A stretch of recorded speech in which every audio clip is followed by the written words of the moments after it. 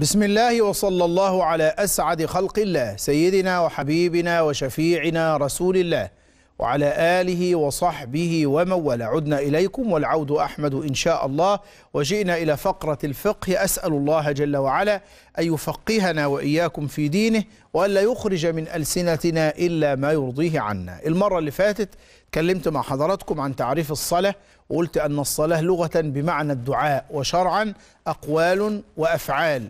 تفتح بالتكبير وتختم بالتسليم. الصلاة تحريمها التكبير. ساعة ما تقول الله أكبر أنت بقيت في الصلاة. لا يجوز لك ما كان جائز قبل الصلاة. لا ينفع تتكلم ولا ينفع تأكل ولا تشرب. طيب وتحليلها التسليم. لما تقول السلام عليكم ورحمة الله التسليمة الأولى كده أنت تحللت من الصلاة وخرجت من الصلاة. الصلاة فرضت على سيدنا رسول الله في ليلة الإسراء والمعراج. وعارفين إن الصلاة كانت خمسين صلاة في البداية وسيدنا موسى قال لسيدنا النبي سر ربك التخفيف فسيدنا النبي طلب من ربنا التخفيف فخفف عليه الصلاة جعلها خمسة في العمل وخمسين في الأجر والثواب لأن الحسنة بعشر أمثالها. طب وبعدين؟ الصلاة يعني سبحان الله ربنا سبحانه وتعالى جعلها عماد الدين. قال في القرآن وما أمروا إلا ليعبدوا الله مخلصين له الدين حنفاء ويقيموا الصلاة ويؤتوا الزكاة وذلك دين القيمة. يبقى من عماد الدين الصلاة.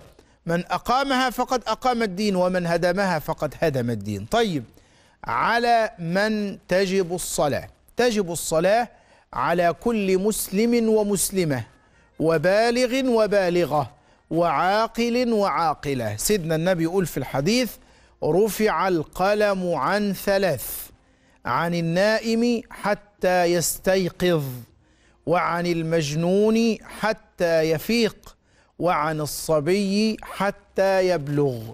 طب نعلم ولادنا الصلاة إمتى؟ سيدنا النبي قال كده علموا أولادكم الصلاة وهم أبناء سبع سنين.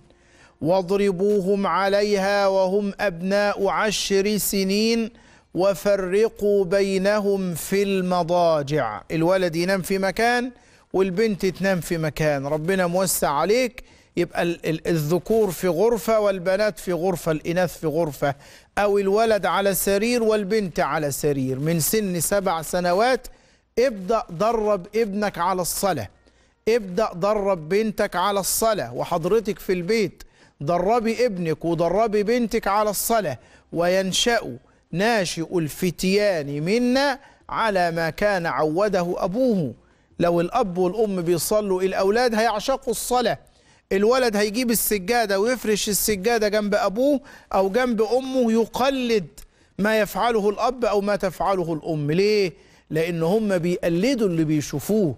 الولد وهو عنده خمس سنين نبدأ نعلمه على الصلاة نبدأ نقول له إن الصلاة دي فرض ربنا فرضها علينا نعرفه إن الصبح ركعتين الظهر والعصر والعشاء أربع ركعات المغرب ثلاث ركعات. نبدأ نغرس في نفوس أولادنا حب الصلاة. ليه؟ لأن الصلاة أنس المشتاقين وروضة المحبين. ورمز العبودية لله رب العالمين. نعلمهم إن سيدنا النبي كان يقول وجعلت قرة عيني في الصلاة نعلمهم إن سيدنا النبي كان يفرح بالصلاة وكان يقول أرحنا بها يا بلال وكان إذا حزبه أمر يفزع إلى الصلاة صلى الله عليه وسلم. نعلم أولادنا إن أول حاجة هيحاسب عليها الإنسان في قبره الصلاة. إن أول ما يحاسب به العبد الصلاة فإن صلحت فقد أفلح وأنجح وإن فسدت فقد خاب وخسر. يبقى الصلاة تجب على المسلم البالغ العاقل. ذكر وأنثى مسلم بالغ عاقل. غير المسلم لا يجب عليه الصلاة. طيب أركان الإسلام عارفين أن بني الإسلام على خمس منها بعد الشهادتين إقام الصلاة وإيتاء الزكاة وصوم رمضان وحج البيت لمن استطاع إليه سبيلا. طيب البالغ الصبي الذي لم يبلغ نعلمه الصلاة وإن صلى يثاب على صلاته أيضا.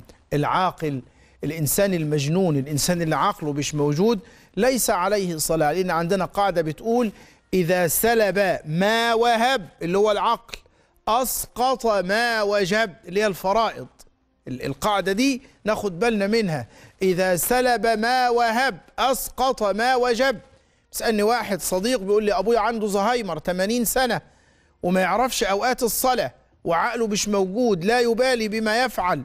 هل لازم أقول له قوم صلي؟ قلت له لا ما عليهوش صلاة لأن الله خفف عنه لأن الله سبحانه وتعالى سلب العقل.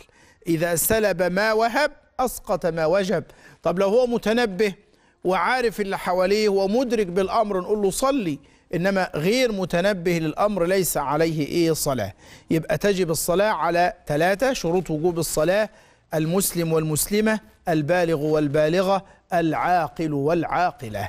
ربنا سبحانه وتعالى يقول لنا في القرآن حافظوا على الصلوات والصلاة الوسطى وقوموا لله قانتين. ربنا يجعلنا وذرياتنا من المحافظين على الصلاة. اللهم آمين.